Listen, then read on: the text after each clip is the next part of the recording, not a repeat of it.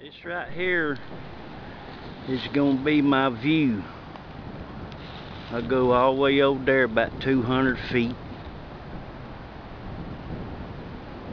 Go back up here behind me. All the way them pink things you see over there. But I'll be up high enough where I can see on the other ridge over there about two or three miles away.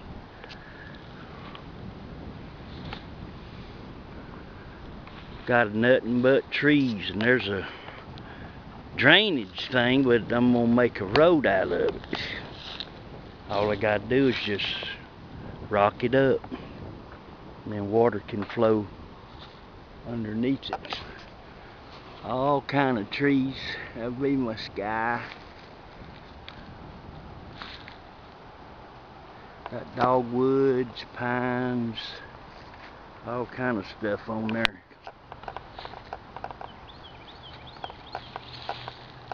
hopefully I'll be putting a few things in the ground here in a couple of days. Yeah, it doesn't look like it's very high, but it's pretty. It goes way over there. Well, it's probably a couple of hundred feet way down there to the road. Down. That's it.